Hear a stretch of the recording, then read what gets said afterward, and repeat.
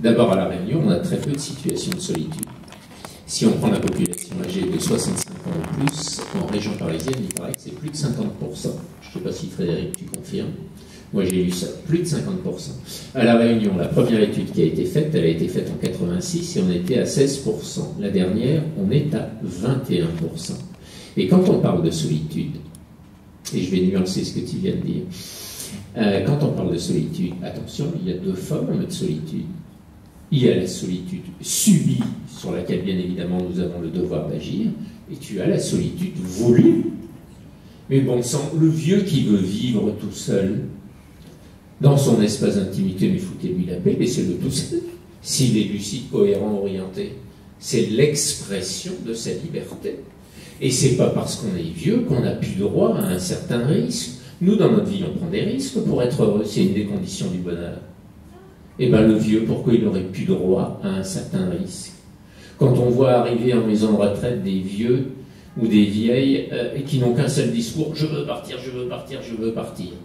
Alors, soit le retour est complètement délirant dans l'insécurité, et à ce moment-là, on ne peut évidemment pas répondre, soit quelquefois on a un peu forcé la main pour euh, quitter le domicile.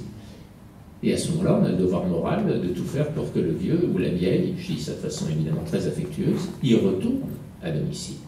On est d'accord à 100%. Et quand je dis filière des réseaux, je parle également de filières et de réseaux sociaux. Et donc, de gens qui vivent seuls dans leur espace d'intimité, mais qui, bien évidemment, on leur offre toute une organisation pour aller à la rencontre des autres. Mettez ça encore, ça dans la recherche, sous l'angle de la recherche du bonheur. Allez vous balader dans les salles à manger des maisons de retraite. J'y ai passé ma carrière et je vous assure que je ne fais pas un tableau noir. Euh, vraiment, il y a, les équipes font tout ce qu'elles peuvent pour que ce soit le mieux possible. Mais vous auriez envie de manger à beaucoup de tables, de salles à manger, de maisons de retraite? Posez-vous la question. Ben, ils sont comme nous. Et ils auraient peut-être envie d'avoir autre chose. Et quand vous avez une seule télé euh, pour 20 euh, personnes dans la salle de vie, vous croyez que vous regardez le programme que vous avez envie? Ben non, il y a un programme qui est imposé, alors en général imposé par l'équipe et pas par, euh, par un choix. Euh, non, il faut quand même essayer le, plus longtemps possible de rester chez soi, dans un espace d'intimité, ce qui n'empêche pas la mise en relation sociale. Là, on se retrouve. Oui, bonsoir. Euh, je suis Gonda Christine et je fais de l'aide à domicile. Et je me permets de prendre la parole parce que ben, je travaille au brûlé chez un vieux couple de 84 ans, 83 ans, et ils se font aider par une nièce qui est elle aussi handicapée. Et du coup, moi, j'interviens chez eux à hauteur de 4 fois par semaine. Et c'est vrai que depuis euh, ma venue, euh, leur état ont amélioré, c'est-à-dire qu'elles ont envie de, de revivre, je vais dire. Et le vieil homme souffre un peu d'un début d'Alzheimer et cette dame, elle souffre du dos. Et elle, se, elle avait des séances de massage au début et sous l'ordonnance de son médecin traitant, elle a eu des séances de marche et ça lui a fait un grand bien parce que après ces séances, ça lui a permis de quitter son jardin. Le kiné lui a emmené en dehors de sa maison et c'est un endroit où elle n'a pas vu depuis très longtemps. Parce qu'en fait, elle n'osait plus. Elle se laissait vieillir. Et moi, quand j'interviens chez eux, je leur emmène ma jeunesse. Je leur redonne un peu confiance. ils n'ont pas eu d'enfants. Je leur parle de mes enfants. Et ça les encourage. Et leurs maisons ne sont pas du tout aménagées. Ils ont une baignoire. Ils n'ont pas d'aide d'infirmière pour prendre leur bain. Ils se débrouillent tout seuls. Et euh, cette dame, elle ne peut plus se déplacer pour descendre sur Saint-Denis pour faire ses courses ou pour voir le médecin. Donc le médecin se déplace et il vient au brûler. Et je veux dire que bon, on fait un métier vraiment qui est près du cœur avec ces personnes. Ça les aide eux et nous aussi, ça nous permet de dire que ben on va vieillir et on va être dans ces états comme ça aussi. Donc euh, ça nous fait prendre conscience de la vie à être un peu plus ouvert, sourire aux autres. La moindre petite chose est très importante. Voilà, merci. Bravo, vous faites du très bon boulot. Il y a monsieur qui voulait. Un peu l'ambiance en disant que le couple âgé, quelquefois, est un couple toxique. Et justement, il y a quelquefois la, dame qui regarde la télé et le monsieur qui change euh, le programme parce que lui, il va regarder le foot et puis elle, va regarder le Donc, attention aussi à, l'angélisme parce qu'on connaît là des couples où, où, justement on leur a envie de dire. Euh, il faudrait euh, se les séparer. Il y a aussi, euh, quand, quand, tu parles euh, bon, des repas, dans, ben, il y a des repas en couple qui sont une vraie catastrophe. Parce que le gars ne veut rien manger de ce qu'il a fait à sa femme, donc il dit c'est mauvais, tout ça. Et, les femmes nous racontent ça. Donc après, on a des états anxio-dépressifs dont on ne sait pas quoi faire, parce que justement, on est dans une, une spirale descendante ah oui, mais tu vois, il n'y a absolument pas question de tomber dans l'angélisme. Et, pourquoi les vieux n'auraient pas le droit d'être un petit peu pervers? Et il y a des couples qui se maintiennent en amour, mais uniquement en se persécutant. Ils ont un espèce de besoin de ça jusqu'au cercueil. Je te rassure, il y a des fois des couples magnifiques. Il y a un couple, oh, le monsieur vient, euh, il a 70 ans plus, hein, et euh, je reçois un appel, euh, téléphone de la, dame en disant Hé docteur, aussi, il arrive là, mais oublie pas de lui marquer. Hein. Parce que. ça marche très bien, tu vois. Et, là, c'est quelquefois des, vies. Bon, et puis sans parler de, bon, de l'environnement euh, familial qui, quelquefois, bon, euh, quand tu parles, euh, de, de, des problèmes de placement, moi j'ai eu quand même à faire face à un placement d'office en tutelle par prise en charge par l'État, parce que les filles en sont venues même aux mains devant le, médecin et l'assistant social qui, euh, qui, leur demandait simplement de s'occuper de leur maman. Une maman qui n'était pas très dégradée, mais qui avait simplement besoin euh, que quelqu'un s'occupe d'elle à la maison. Parce qu'il y avait déjà l'aide ménagère, tout ça. On leur disait simplement qu'il faudrait quelqu'un qui prenne la responsabilité. Refus absolu de prendre la responsabilité. Alors, impasse totale, hein. refus de prendre la responsabilité d'une tutelle ou quoi que ce soit. Les filles sont venues aux mains devant le médecin qui m'a téléphoné et m'a dit Qu'est-ce que je fais?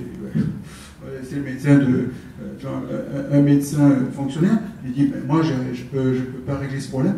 Donc, elle a été mise sous tutelle automatique et mise en EHPAD automatiquement aussi, et très rapidement, hein, en 15 jours. Hein, parce que, donc, il fallait, fallait l'isoler dans le milieu toxique. Qu'est-ce que tu fais à une situation comme ça? Hmm. Et il y en a. Il y en a. J'en ai une autre qui a actuellement été un dépressif chronique, une dame qui marche, qui se déplace, qui a deux prothèses totales de genoux et qui, fait, qui peut tout faire. Simplement, elle reste chez elle, elle attend la mort.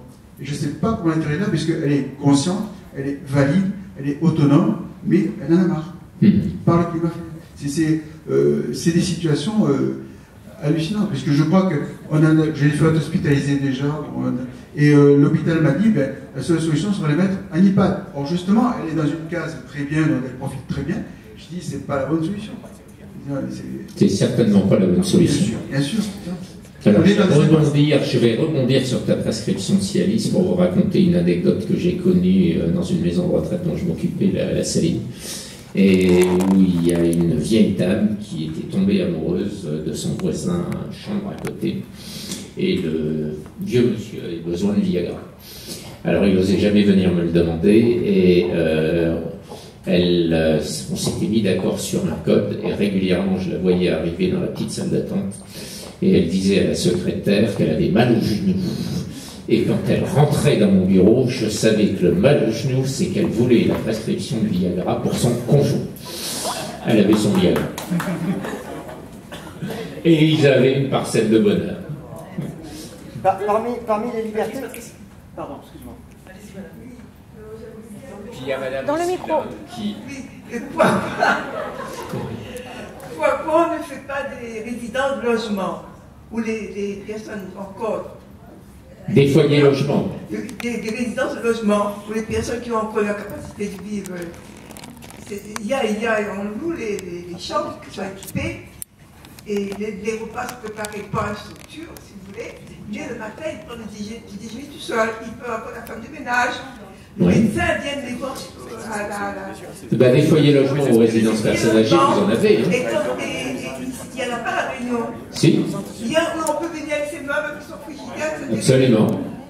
Vous avez des, les anciens foyers logements, vous avez les résidences personnes âgées, c'est la Caisse réunionnaise de retraite, le CRR, qui avait été à une époque le principal promoteur de la chose, et vous en aviez trois à partir de la CRR. Vous aviez la résidence du Bel Air au Tampon, et vous aviez les deux de la rue Roland-Garros avec les Tamarins et les Charmilles. Alors vous avez également des foyers logements. Est-ce qu'il faut leur repas eux-mêmes ils peuvent. Et ils peuvent faire appel au service de repas à domicile de la mairie. parce que là, il y a les repas de midi et du soir, après le, matin, c'est eux leur petit Alors, c'est sûr qu'il n'y en a pas assez, mais, les foyers logements doivent évoluer en résidence autonomie. Il faut mettre le paquet là-dessus. Les gens peuvent prendre la voiture pour aller à la messe ou bien aller au marché. Et puis après, ils sont organisés par la structure. Et on emmène les gens, s'ils n'ont pas de voiture et tout, il y a un camp qui est à disposition une fois par semaine. Ils vont dans les grandes surfaces faire euh, leur marché, ils ont besoin de papier etc. Et puis après, ils prennent le café. Il y en a, mais il y en a pas assez. Après, ils prennent le café comme ça, en public, dans, dans la structure, dans la, dans la grande surface. Ils prennent le café avec les gens qui sont là. Ils ne sont pas isolés, je veux dire, mais ils sont encore capables d'être indépendants. Mais quand ils vont dans la structure, ils vont avec leurs effets, leur lit, leur, leur table, leur télé. Absolument, c'est très souhaitable. Mais s'il n'y a pas ça ailleurs. Si, si, si. Mais ce sont, ce sont des structures bien souvent privées. C'est dans ce créneau-là que ce. Que... Pardon.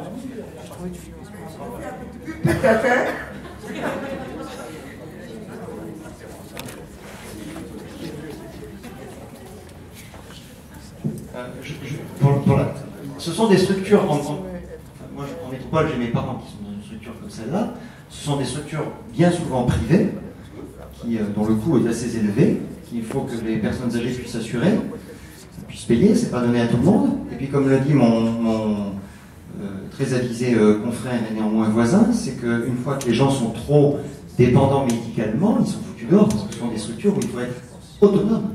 Mais effectivement, c'est une très bonne idée. Ils prennent le repas de midi ensemble, ils font ce qu'ils veulent le reste de la journée. Ils sont dans un, immeuble il y a un restaurant et des services. Hein. il y a l'homme à tout faire qui répare l'informatique, qui répare la salle de bain, qui répare, etc.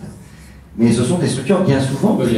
attention, hein, là tu parles de la métropole. Ici à La Réunion, c'est pas la même chose, puisque ces résidences ont en général été faites par euh, une institution de retraite complémentaire et qui n'avait pas de but commercial privé pour le faire. Elle fait sur ses fondations sociales. D'accord. Tandis qu'en métropole, il y a les choses célèbres. Hein. il y a les Espéries, d'Orpea, Domusville et compagnie. Voilà. Bah, Domusville a commencé avec un embryon. Il y a aussi une toute petite résidence personne âgée à à côté de l'EPA et à côté de l'EHPAD dans le même bâtiment. Ça va venir, de toute façon, ici, on va, ça va se développer. Bah, c'est très surprenant, il n'y en a pas beaucoup qui se précipitent. Le foncier est limité aussi. Ah, moi j'ai une question à te poser, puisque tu considères que les, vieux ils ont le droit d'être euh, etc. Non, je pas dit ça, Tout le monde l'a entendu, euh, Ils ont aussi le droit. Là c'est toi qui es pervers avec ils, ont aussi le droit d'en avoir marre. Quand tu disais tout à l'heure que euh, même chez quelqu'un qui a des troubles cognitifs assez, assez importants, etc., il peut rester des charges émotionnelles, des machins comme ça. Euh, tu disais en gros, euh, bah, si la personne n'a plus une, lucidité très grande, elle peut encore ressentir, et, quand bien même, c'est grâce peut-être à sa perte de lucidité qu'elle peut encore ressentir euh, des plaisirs très simples comme, comme peuvent les sentir des gens très handicapés mentalement. Mais le problème, c'est que c'est pas toujours comme ça. Il, y a des, gens qui, gardent, hélas, une lucidité extrême avec euh, et qui font d'authentiques dépressions. Et qui font d'authentiques ah bah, dépressions. et, avec, évident. bien souvent sur des vieillissements euh, organiques, corporels, euh, et, et, qui, relèvent d'un traitement spécifique. Oui, mais qui ne marche pas toujours. Et puis il y a un moment donné où c'est normal de déprimer en approchant de la mort. Je veux dire, on va revenir sur le thème de la soirée quand même. Hein. Est-ce que c'est une maladie que d'être déprimé quand on sent qu'on s'approche de la fin de la vie? C'est pas une maladie à ce moment-là. Tu as aussi des gens lourdement incapacitaires qui ne sont pas déprimés. Et ici, il y a une, très volontiers une espèce de fatalisme à base magico-religieuse où on remet tout dans les mains de Dieu, si bon Dieu y veut, quand bon Dieu y veut, etc. Et probablement que ce fatalisme magico-religieux permet à, à certains, voire à beaucoup, d'échapper à la dépression. Mais bien évidemment, il y a de la dépression chez les vieux il y a beaucoup moins de suicides de personnes âgées à La Réunion qu'en métropole, en ratio de population. Et ça, je crois que c'est dû au fait qu'ils ont quelque part une psychologie, ils ont une mentalité dans l'escapé démographique. Il faut voir, je vois la MAPA nous fêter cet après-midi, là, une centenaire. Euh, ces gens-là, donc, elle est née en 1914. Ces gens-là ont vécu la moitié ou les deux tiers de leur vie dans une misère quelquefois extrême, où le souci c'était qu'est-ce qu'on va manger et qu'est-ce qu'on va donner à manger aux gamins ce soir et demain. C'est pas les soucis de maintenant. Et ces gens-là qui ont connu cette époque de misère extrême, et eh ben maintenant tout est un don de Dieu. Euh, ah ben je suis encore là, je suis surpris. Ils ont perdu un nombre considérable de frères et sœurs euh, dans la première moitié du siècle dernier. Euh, J'avais pas vu que tu étais là. très honoré, très heureux. Euh, ils, ont, ils ont connu des choses absolument atroces. Moi, je me souviens avoir interviewé de très vieilles dames euh, qui avaient quelquefois du mal à dire le nombre d'enfants en bas âge qu'elles avaient perdu. Et elles n'étaient pas démentes. C'est quand même atroce. Alors, je ne parle pas de tous les avortements spontanés, toutes les fausses couches à cause du paludisme, qui, était, qui est un grand avorteur. Euh, ces gens-là ont connu des choses tellement atroces que maintenant, ce qui vivent dans leur très grande vieillesse, ben, ils sont encore tout surpris d'être là et tout heureux d'être là. Oui, euh, je voudrais vous poser une question peut-être un peu délicate. Euh, en parlant de personnes âgées qui sont, nous on parlait des gens là qui sont un petit peu handicapés, hein, donc euh, qui pouvaient faire plein, plein, plein de choses. Maintenant, si on pose la question à, les personnes qui sont lourdement handicapées et qui dépriment et qui en ont marre et qui voudraient, qui voudraient partir, quelle est votre position là-dessus Est-ce qu'on doit les aider ou est-ce qu'on... Les aider à partir, non. Les aider à partir, oui. C'est une position personnelle. Hein. Euh, les aider à partir, non. Euh, ça ne fait pas partie de notre tâche médicale les soulager euh, de leur souffrance morale, leur faire les traitements nécessaires et les approches non médicamenteuses combien importantes là-dedans, oui. Mais les aider à partir, non. En gériatrie, les aider à partir, euh, le problème se pose lorsqu'on est dans les grandes défaillances polyviscérales avec des gens qui ont perdu leur relation, euh, leur cohérence, leur orientation, leur lucidité. Alors là, euh, on n'a pas le droit de les laisser souffrir inutilement euh, huit jours de plus. Mais là-dessus, il y a un avis qui serait très précieux s'il acceptait de donner. Je pense à Bertrand Le Riche, qui est le président du Conseil de l'Ordre. Écoutez, merci. Je ne dis pas d'avoir posé la question, parce qu'elle est délicate et je, suis tout à fait l'attitude proposée par le euh, Dr Cato. C'est à la fois personnel et institutionnel, hein, ce que je dis. C'est-à-dire, on n'a pas le droit, euh, on ne peut pas. Et puis, individuellement, moi je ne sais pas euh, comment sont tous mes confrères, moi je ne peux pas. Et pourtant, Dieu sait que j'en ai aidé des gens à terminer leur vie. Mais on ne peut pas. Il y a toujours une parcelle de, de vie, un œil qui vous regarde, il y a toujours quelque chose qui fait que notre mission, c'est non pas de maintenir excessivement, abusivement la vie, mais l'interrompre. Moi, je ne peux pas, nous ne pouvons pas. Sauf dans les cas de défaillance polyviscérale, mais c'est un autre. Alors, c'est quelque chose qu'il faudra peut-être résoudre. C'est le problème de toute la légalisation hein, qui est proposée de l'euthanasie. Euh, on en parle, on n'en parle pas, on traîne. Euh, la position du corps médical sera ce qu'est la somme des propositions individuelles de chacun. Nous restons libres, hein, nous restons indépendants, mais je vous ai donné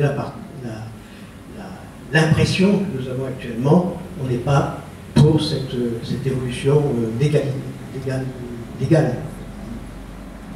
Je sais très mal m'exprimer, hein, je suis désolé, c'est le cœur qui parle, mais euh, actuellement, le corps médical n'est pas prêt à cette solution euh, c'est pas nous. C'est pas nous. Nous n'avons pas à faire là. Nous sommes là pour maintenir la vie. Point. Point. C'est tout. Mais on peut avoir des positions individuelles, on peut les régler individuellement, mais est-ce à nous de, se le voir imposer par la loi ou restons-nous indépendants dans notre décision? C'est ça qui est plus important. Merci, il y a beaucoup de questions. Je pense qu'on est quand même obligé de clôturer, sachant que le moment le plus passionnant, ça va être après. les échanges entre nous, personnes, à l'occasion d'un cocktail. Je, trouve que Dr Lorich, donc président de l'ordre, que je remercie, je remercie encore la mairie, Madame la députée, je remercie Madame de Saint-Gly qui n'a pas pu venir, directrice de l'Agence régionale de santé, qui serait bienvenue. Je, je, pense que ça résume un peu tout. Je ne sais pas du tout si l'auteur a voulu exprimer la vieillesse par ce paysage grisâtre d'une EHPAD ou la solitude chez soi. Mais finalement, est-ce que nous n'avons pas tous un rôle à jouer, ce dessinateur, dont je remercie M. Coustis qui m'a donné l'autorisation de, la diffuser Est-ce que ça ne représente pas finalement le, bonheur qu'on peut donner à chacun un petit peu euh, à nos personnes âgées? Euh, la théorie est une chose, les lois sont une chose, mais je crois que la proximité, l'échange et, le bonheur qu'on peut apporter à une personne en vis-à-vis. On parlait d'amour, on parlait de couple. C'est vraiment, à mon avis, euh, c'est peut-être pas du tout le, la façon dont tu voulais voir ce dessin. Euh, je l'avais interprété, aussi avec euh, d'une autre façon. Peut-être que tu pourrais nous en dire un mot après, si tu le veux. Peut-être adapter ce dessin par rapport à ce que tu as entendu, parce que je le trouve représentatif de tellement de choses de cette soirée d'autres choses. Moi, je l'avais vu, euh, tu le sais, euh, dans l'industrie pharmaceutique, sur un paysage avec des études négatives qui montraient que des effets indésirables et comment on sort des études bénéfiques pour tout le monde. C'est mon premier sentiment, Tom, tu l'as envoyé. C'est vraiment, je trouve tellement symbolique, si tu peux nous en dire un petit mot. Non, moi, je suis heureux de, voir que chacun y trouve son bonheur. voilà. Moi, c'était un petit peu le. Non, j'étais resté au départ sur le, fait que l'artiste, en fait, euh, souvent, il, projette ses, fantasmes et ses désirs euh, en créant une œuvre euh, qui n'est pas obligatoirement la, réalité. Voilà, c'était pas, c'était pas si, si beau que ce que tu viens de dire. Mais en fait, si c'est plus beau que ça encore, c'est bien. Merci. Euh, vous avez aimé ce qu'a dit Madame Galland, vous aimerez ce qu'elle vous dira la prochaine fois. Euh, j'ai pas mis son nom encore, parce qu'en fait c'est tout récent que le docteur Galland ici présent, donc ancienne euh, ministre, euh, médecin jeunesse et sport, nous parlera du sucre. Alors il y avait un, titre un peu, évocateur, un peu provocateur, comme toujours on aime bien, c'est comment se sucrer en sucrant les autres, mais qu'on abandonnera peut-être, on trouvera un titre un peu moins provocateur. Ça sera probablement soit le, le 14 juin en espérant qu'on puisse encore avoir la salle de la mairie, ou le, 20, ou le dernier vendredi du mois de juin. Euh, vous êtes nombreux, nous on n'a aucune subvention, il y a quelques bouteilles, et je me dis que la prochaine fois, eh chacun mènera un verre, une assiette, petite bouteille, parce que le meilleur moment, ça va être maintenant, c'est le partage euh, bah, avec Dr Cato, avec tout un tas de gens. Et plus vous partagerez, plus ça remontera peut-être à l'Assemblée pour faire changer un peu les lois, et notamment cette loi de, qui va avoir lieu Peut-être vous êtes au courant de cette loi qui va avoir lieu? Ben, Peut-être vous en dire un petit mot Merci, bonsoir. Euh, je suis très honorée aussi, cher Pierre, d'être là. Euh, d'abord, euh, m'excuser pour ce retard, mais les plannings sont un peu contraints en ce moment. Mais enfin, c'est avec plaisir que je suis là. D'abord, pour plusieurs raisons, parce que c'est un. J'allais dire, c'est un, un, sujet, mais j'aime pas bien le terme. Mais en tout cas, un enjeu de société qui nous intéresse depuis très longtemps. Moi, lorsque je faisais pas de la politique, mais j'étais euh, administrative au Conseil général, j'ai eu cette chance de travailler sur, euh, avec Pierre d'ailleurs, euh, qui m'a beaucoup apporté sur ce phénomène du vieillissement, entre autres. Donc c'est un enjeu de société très important puisque nous allons avoir la chance de vivre plus longtemps, si c'est une chance nous, mais aussi les enfants qui naissent, donc euh, plus de centenaires, en tout cas la moitié des enfants qui naissent, je crois, euh, devraient devenir centenaires. Donc c'est un vrai enjeu de société.